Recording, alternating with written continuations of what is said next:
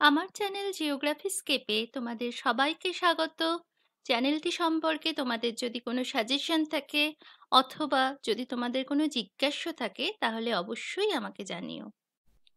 আমার ভিডিওগুলোর আপডেট সবার আগে পাওয়ার জন্য চ্যানেলটাকে সাবস্ক্রাইব করো এবং বেল আইকনকে প্রেস করতে ভুলো না। বাতাসের আপেক্ষিক আর্দ্রতার পরিমাণ পরিমাপ করা হয় dry bulb and wet bulb thermometer বা হাইগ্রোমিটার দিয়ে।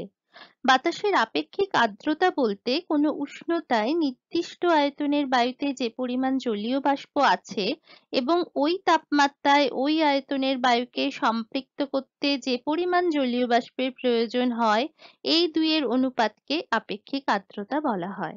আপেক্ষিক আর্দ্রতা সবসময় শতকরা হারে প্রকাশ করা হয়, অর্থাৎ যতটা আছে এবং বাতাস সম্পৃক্ত করতে যতটা আরও জলীয় বাষ্পের প্রয়োজন, সেটাকে ডিভাইড করে একশো দিয়ে গুণ করলেই আপেক্ষিক আর্দ্রতা নির্ণয় করা যায়।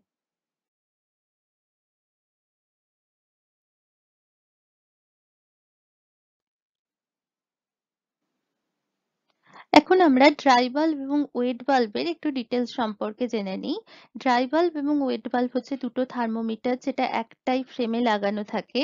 ড্রাই বাল্বের ক্ষেত্রে এখানে আমরা পারদটা দেখতে পাচ্ছি, কিন্তু ওয়েট বাল্বে আমরা পারদটা দেখতে পাই না।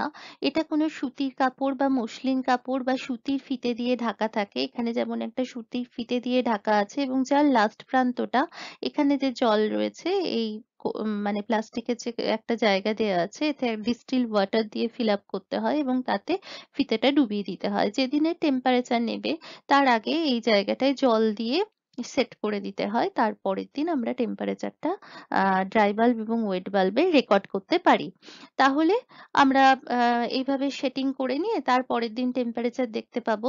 তো টেম্পারেচার দেখার জন্য এখানে এক একদম সরু পারদের একটা লেয়ার ওপরে উঠবে মানে কাঁচের নলের ভেতরে এই, এটা জাস্ট লাস্ট এন্ড পয়েন্টটাই হচ্ছে ড্রাই বাল্বের আর এর এন্ড পয়েন্টটা হচ্ছে ওয়েট বাল্বের টেম্পারেচার এবার ওয়েট বাল্বের যে মেকানিজম ওয়েট বাল্বটা কেন এখানে করা হচ্ছে? সেটা হচ্ছে বাতাসটা আর্দ্র হলে তার টেম্পারেচার কত হতো আর বাতাসটা ড্রাই হলে তার টেম্পারেচার কত হতো? এই দুটো থেকে মাইনাস করে অর্থাৎ কতটা ডিপ্রেশন হয়েছে সেটাকে বলা হয় দুটোর যে পার্থক্য ড্রাই এবং ওয়েট যে পার্থক্য তাকে বলা হয় ডিপ্রেশন অফ ওয়েট বাল্ব এই ওয়েট বাল্বের ডিপ্রেশনটা ক্যালকুলেট করার পরে রিলেটিভ হিউমিডিটি বের করা যায়। তো ওয়েট বাল্বের যে মেকানিজম সেটা হচ্ছে এখানে যে সুতির ফিতেটা দেয়া আছে সেটা এখান থেকে জলটাকে শোষণ করে নিয়ে এসে পারদটা যেটা লাগানো আছে, অর্থাৎ এখানে যে বাল্বটায় পারদ লাগানো আছে তার গাটা সুতির কাপড়ে ঢাকা দেয়া হচ্ছে এবং সেই কাপড়টা ভিজে।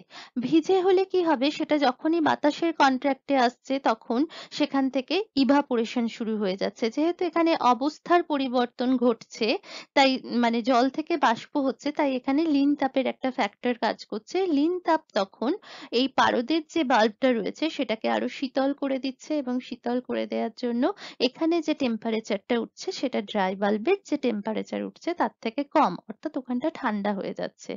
বলছে যদি বাতাসের যে মানে বাতাস কতটা শুষ্ক রয়েছে তার উপর নির্ভর করবে ওয়েট বাল্বের টেম্পারেচার যদি বাতাস একদমই শুষ্ক না হয়, অর্থাৎ বাতাস জলীয় বাষ্পপূর্ণ হয়, ভিজে ভিজে হয় বাতাস, তাহলে টেম্পারেচার খুব বেশি উঠবে না এবং দুটো সমান হবে। যখন বৃষ্টি হয়, তখন স্যাচুরেশন লেভেল যেহেতু বাতাসের কমপ্লিট থাকে, তখন দুটোর মধ্যে পার্থক্য হয় না। তখন ড্রাই অ্যান্ড ওয়েট বাল্বের থার্মোমিটারের রিডিং একই হবে। কিন্তু যত বাতাস শুষ্ক হবে, তত তাড়াতাড়ি সে এই জায়গা থেকে বাষ্পীভবন হবে। বাষ্পীভবন হলে এই জায়গাটা শীতল হবে, তার ফলে দুটোর মধ্যে ডিফারেন্স বাড়বে। দুটো থার্মোমিটারের মধ্যে যত ডিফারেন্স বাড়বে, তত রিলেটিভ হিউমিডিটি বাতাসে কম হবে। এবার আমরা ড্রাই এবং ওয়েট বাল্ব টেম্পারেচার ইউজ করে মানে এই যন্ত্রটা ইউজ করে শুধু যে রিলেটিভ হিউমিডিটি পাবো তা নয়, এখান থেকে আমরা ডিউ পয়েন্টও ক্যালকুলেট করতে পারি এবং ভেপার প্রেশার কত সেটাও ক্যালকুলেট করতে পারি।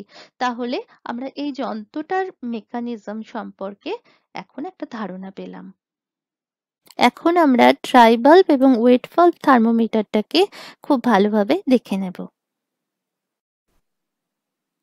থার্মোমিটারগুলোর মাথার ওপরে ড্রাই এবং ওয়েট লেখা আছে। এছাড়া আমরা দেখতে পাচ্ছি ড্রাই বাল্বের নিচে পারদ বাল্বটার সাথে জলের কোনো সংযোগ নেই। কিন্তু ওয়েট বাল্বটা সম্পূর্ণরূপে একটা ভিজে ফিতের সাথে আটকানো আছে। থার্মোমিটারের একদিকে আছে সেন্টিগ্রেড স্কেল এবং অন্যদিকে ফারেনহাইট স্কেল। ড্রাই এবং ওয়েট বাল্ব দুটোতেই কিন্তু একইভাবে স্কেলটা দেয়া আছে। এখন আমরা কীভাবে রিডিং নিতে হয় দেখব। ড্রাই বাল্বে প্রথমে নিই। ড্রাই বাল্বে দেখছি আমরা টেম্পারেচার নিচে থেকে ক্রমশ উপরের দিকে বাড়ছে এবং এখানে কাঁচ নলের ভেতরে একটা সরু চুলের মতো অংশ আমরা দেখতে পাচ্ছি। এটা অ্যাকচুয়ালি পারদ এবং এই পারদটা বাতাসের টেম্পারেচারের সাথে সাথে প্রসারিত হয়ে ঊর্ধ্বমুখী হয়। এবার আমরা দেখছি যে কুড়ির ওপরে কয়েক ঘর পর্যন্ত গেছে। তাহলে কুড়ির পরে একুশ, বাইশ, তেইশ, চব্বিশ। তাহলে ড্রাই বাল্বের টেম্পারেচার হলো চব্বিশ ডিগ্রি সেন্টিগ্রেড এরপরে আমরা ওয়েট বাল্বটা দেখে নিই।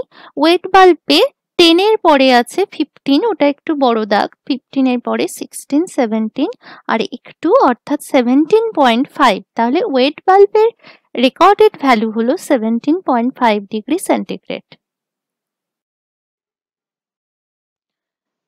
dry bulb এবং ওয়েট বাল্ব থার্মোমিটার থেকে ডেটা কালেক্ট করার জন্য একটা টেবিল তৈরি করে নিতে হয়। প্রথমে থাকে প্লেস সেখানে কলেজের নাম বা স্কুলের নাম থাকে জিওগ্রাফি ডিপার্টমেন্ট তারপরে কলেজের নাম বা স্কুলের নাম। এটা যদি প্র্যাকটিক্যাল খাতার জন্য করা হয়, তাহলে নেম অফ দ্য অবজারভারে নিজের নাম হবে, পরীক্ষার জন্য হলে রোল নাম্বার এবং রেজিস্ট্রেশন নাম্বার লিখতে হবে। আর এখানে হচ্ছে ক্লাস বা সেমিস্টার সেটা লিখতে হবে।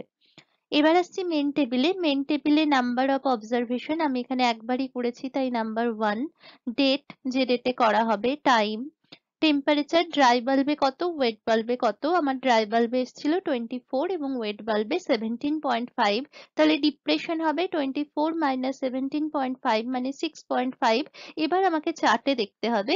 চার্ট বইয়ের পেছনে দেয়া থাকে অথবা যে ইনস্ট্রুমেন্টটা আমরা করছি, সেই ইনস্ট্রুমেন্টের সাথে একটা চার্ট দেয়া থাকে। সেখানে আমরা দেখে নেব twenty four degree centigrade wet বাল্বে relative depression যদি সিক্স পয়েন্ট ফাইভ হয়, তাহলে রিলেটিভ হিউমিডিটি কত হবে? এখানে চার্ট অনুযায়ী এটা এসেছে ফর্টি নাইন পার্সেন্ট এখন আমরা একটা রিলেটিভ হিউমিডিটি চার্ট দেখে নেব। এই চার্টটা আমি অল্প অংশই তুলে নিয়েছি, পনেরো থেকে পঁচিশ ডিগ্রি সেন্টিগ্রেড ড্রাই বাল্বে এবং ডিপ্রেশনের ক্ষেত্রে জিরো পয়েন্ট ফাইভ থেকে সিক্স পয়েন্ট ফাইভ পর্যন্ত নিয়েছি। যেহেতু সিক্স পয়েন্ট ফাইভ আমার ডিপ্রেশন এসেছে, এখানে আমি দেখিয়ে নেব কীভাবে দেখতে হয়। তাহলে টোয়েন্টি ফোর ডিগ্রি যেখানে টোয়েন্টি ফোর থেকে সোজা আর সিক্স পয়েন্ট ফাইভ নিচের দিকে নেমে এসে যেখানে দুটো মিলিত হচ্ছে, সেখানে যে ভ্যালুটা থাকবে, যেমন এখানে ফর্টি নাইন সেই ভ্যালুটাই হবে তার রিলেটিভ হিউমিডিটি এছাড়াও ইন্ডিয়ান মেট্রোলজিক্যাল ডিপার্টমেন্ট আরেকটা চার্ট প্রকাশ করে, যেটাকে হাইগ্রোমেট্রিক টেবিল বলে।